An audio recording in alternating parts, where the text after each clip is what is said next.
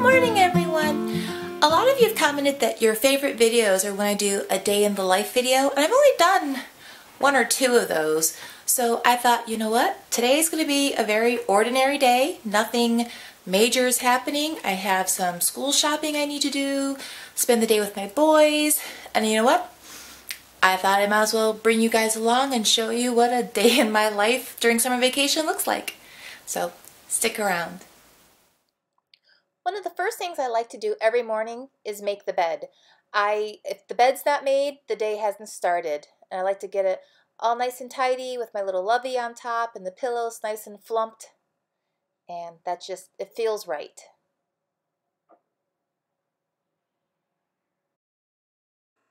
I put makeup on every morning, even during summer vacation. It's just something my mom programmed into me that you know you wake up and you put your face on and you start your day.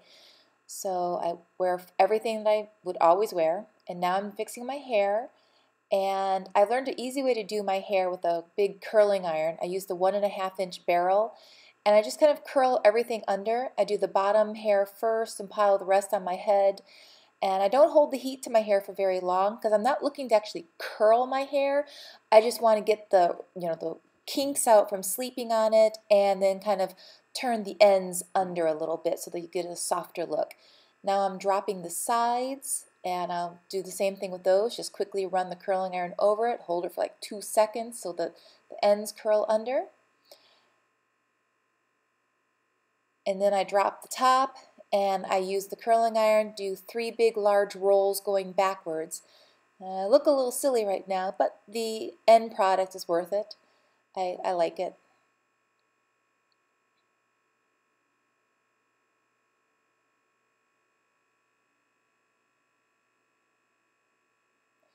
Now I'm just giving a little freshening up with my TIGI Rockaholic dry shampoo because this is three day old hair. So I want to keep it looking fresh. And that's it.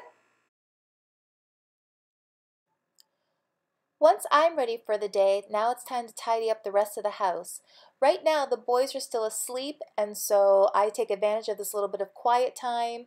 I get the dining room organized because, as you can see, my kitchen table becomes a catch all for everything. I think that happens in everyone's house. The dining room table, it just it becomes a dumping ground. So I'm trying to get everything collected, organized, put away, stuck in the right place. Then we go to the kitchen, and unfortunately, my son did not do a very good job the night before putting away all the dinner dishes. So before I can even get to work on making a simple little breakfast, I have to clean up everything from the night before. And also my husband, he wakes up really early to go to work, and so he'll make his lunch in the morning while we're all still sleeping, and then he'll leave his you know, cutting board and everything lying out, so I get all that put away as well.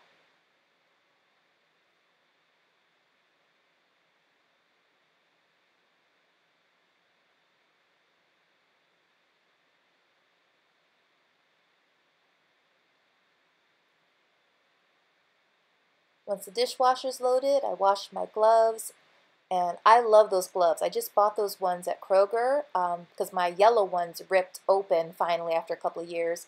And my hands get really dry. And as a mom, I'm forever in water. So anytime I can use a pair of gloves to protect my hands and my fingernails and make my manicure last a little longer, that is a good thing. But as you can see, after I take off my gloves, then I realize, oh, I still have this and this and this and this that needs to be washed and wiped down. So yeah, I'm never done.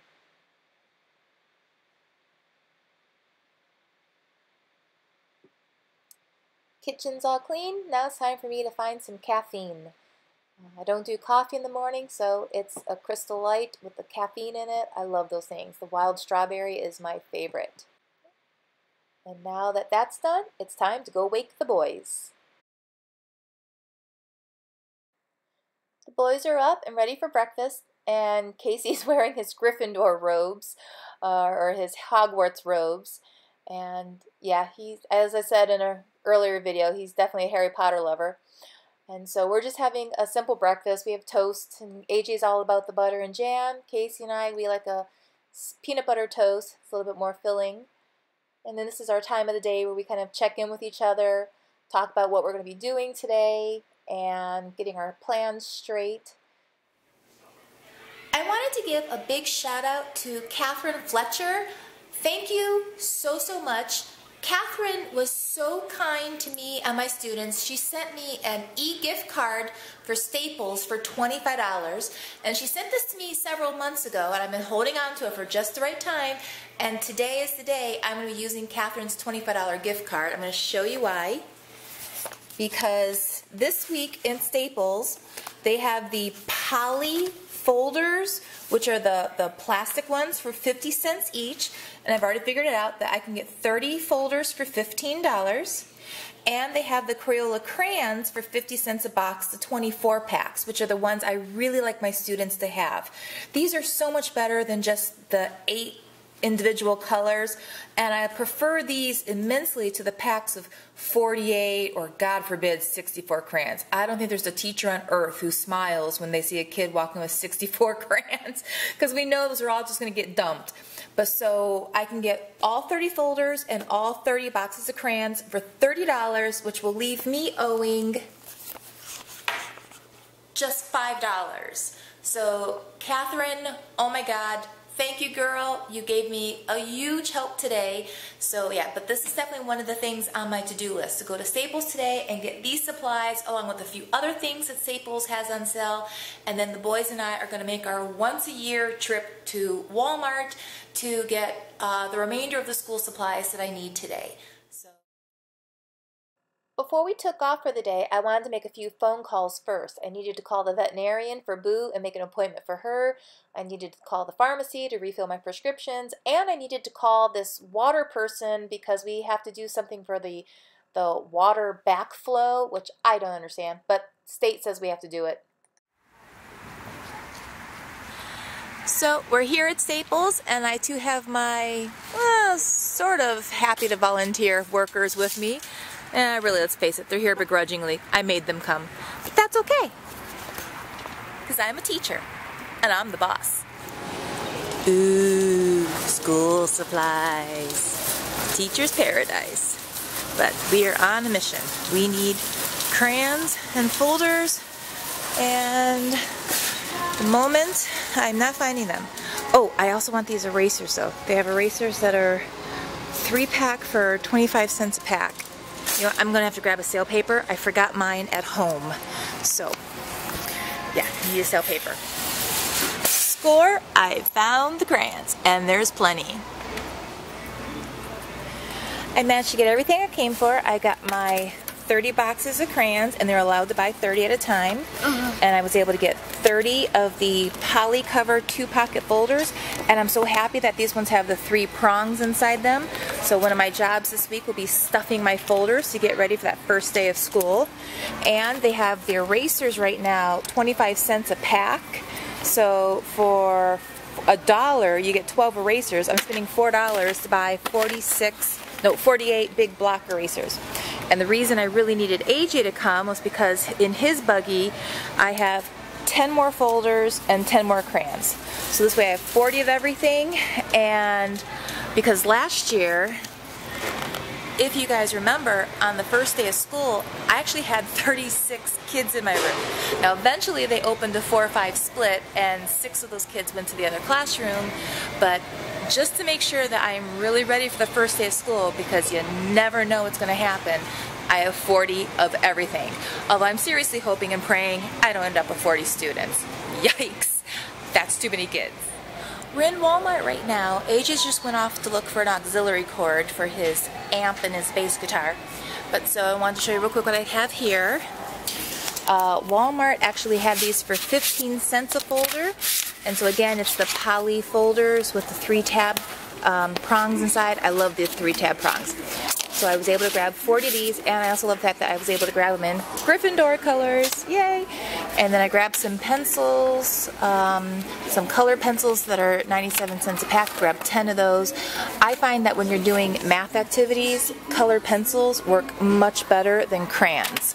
They don't smear, they're, they don't break as easily as crayons do and just a few other things. These are actually for my boys. But so, yep. Did you find your cord? How much is it? Seven bucks. And you're going to be paying me back, right? Yes. In fact, you have four dollars in your pocket right now. Mm -hmm. Okay, good deal. In fact, I have fourteen. Okay, so He has a cord. I have school supplies. It's time to leave Walmart. So we're in the car. We just left Walmart and a moment ago I was so, so happy because I was going to get 30 poly folders for 15 cents each in Gryffindor colors. Super excited.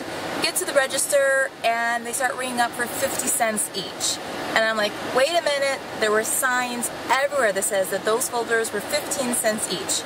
So the person goes back there, comes back a minute later, can you show me where the folders are? I can't even find the folders. Really? You can't, you, there's like an entire aisle of folders, you can't find the folders.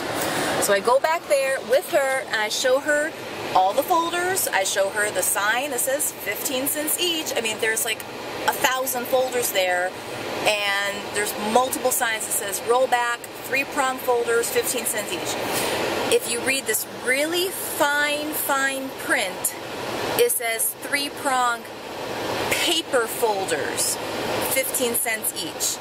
So we're looking for the paper folders that are three prongs in them, two folders. There were two paper folders there with three prongs in them, a thousand poly ones, and nope. So I had to put my folders back. I am not happy. I, I hate Walmart. I hate Walmart. Every time I go in there, something is wrong.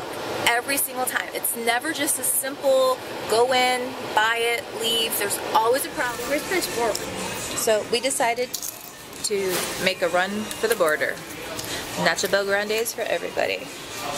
Perfect thing to eat when you're frustrated. Finally home after running to Walmart and Staples and we had to go to the pharmacy to pick up my prescriptions and we went to Taco Bell because I love Taco Bell even though it's really really bad for you. So today what I think I'm going to do now is I really want to do my folder assembly um, so this is something new I'm doing this summer. I've never really assembled my folders the way I'm about to before the first day of school. So I'm kind of excited to get this done.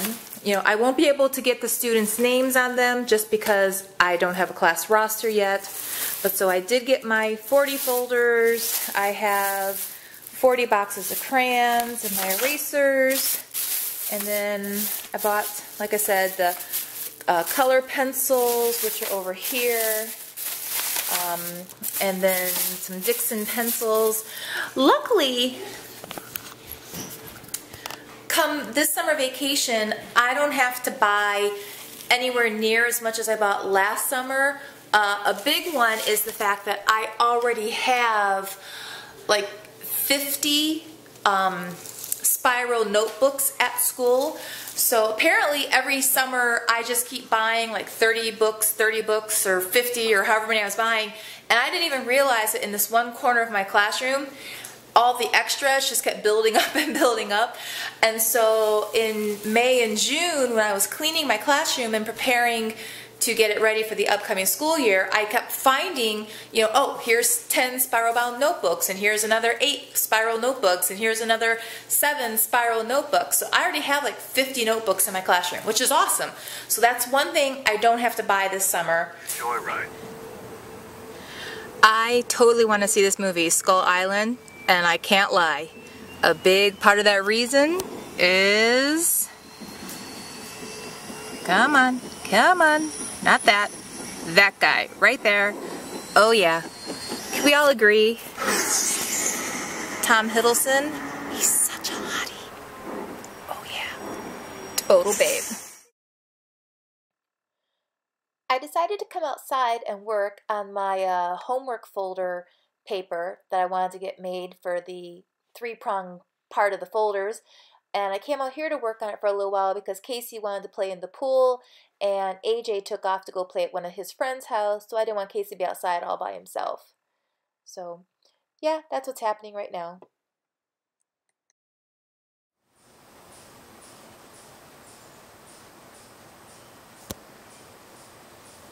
Why are you letting all the water out of the pool? It's not even full yet.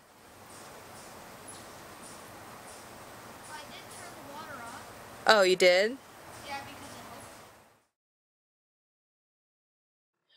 Once Casey was done playing in the pool, I was able to print my inserts for my folders and I'm hole punching them now so I can stick them in the tabs.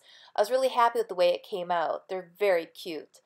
I was able to get some cute clip arts on there and I'd actually had a, a paper already in my laptop, a document that I'd saved years ago, so I just had to do a few tweaks on it and it was ready to go.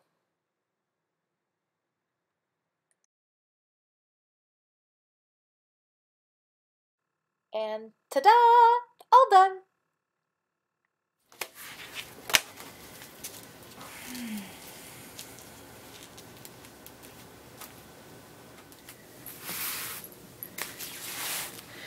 My folders are all done. They're ready for the first day of school. If you look inside, it in the first pocket you will find all of the forms that have to go home, that have to be filled out and sent back. And then this says fourth grade home folder. Uh, for communication between home and school, dear parents and guardian, each student in my room will receive a home folder. This is your child's home folder. Please use this folder to communicate with me. Check this folder every day when your child comes home from school. I will use this folder to send home office information, lunch menus, homework, newsletters, and notes from myself. I will check this folder every morning when your child arrives at school. This is where I will expect to find any notes from home, returned homework, and notes for being absent from school. Please do not count on having a response to voicemail messages messages or emails during the school day. I am very busy working with your child while he or she is with me. If you do email me, I will try to reply within 24 hours.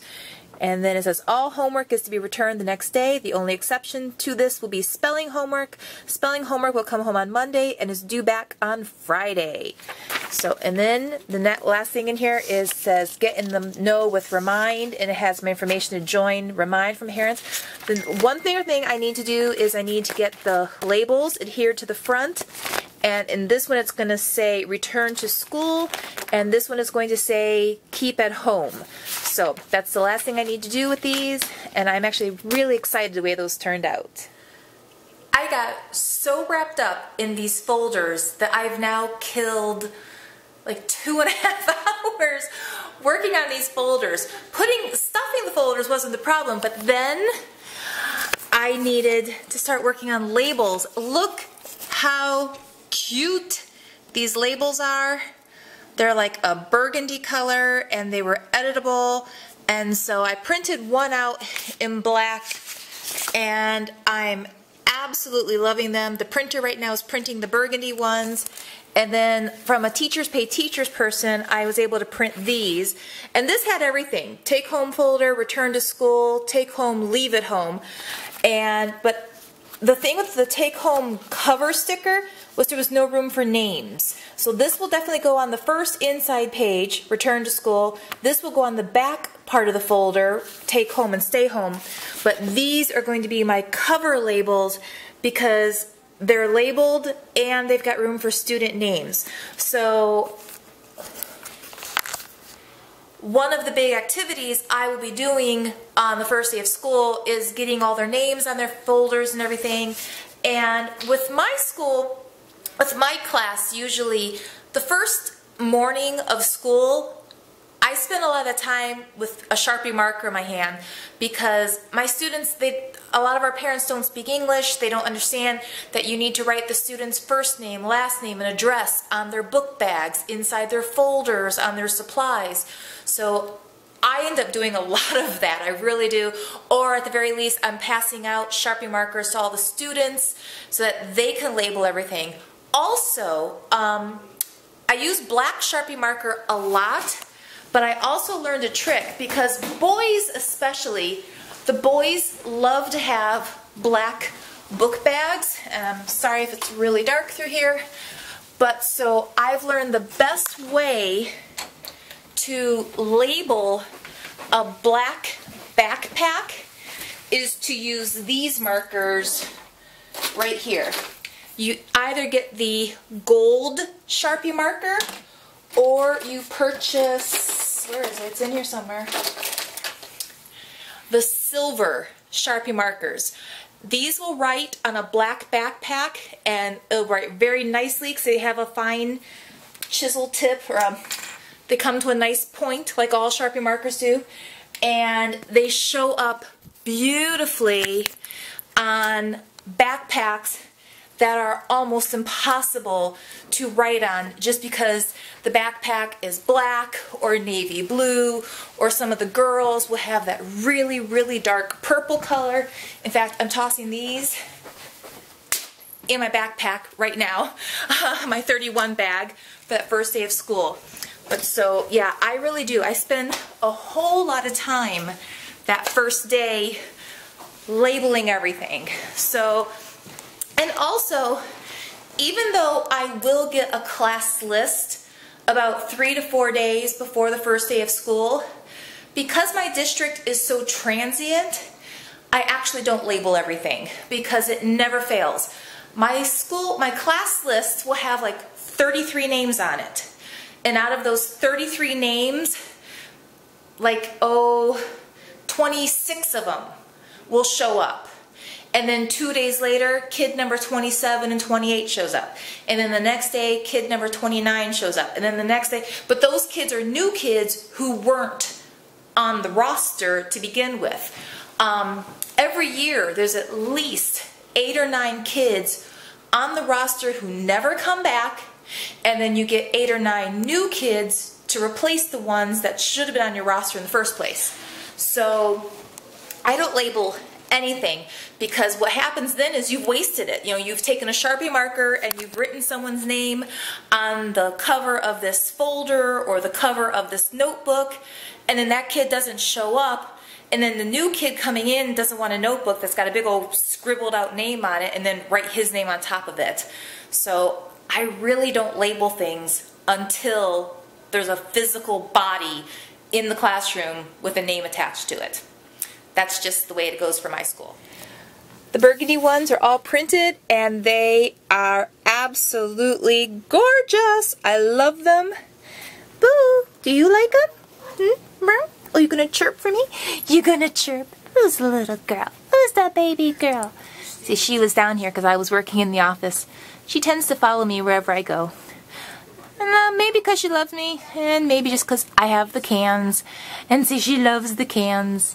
See, I am all about the can. Alright, and with that, I've got to stop this stuff.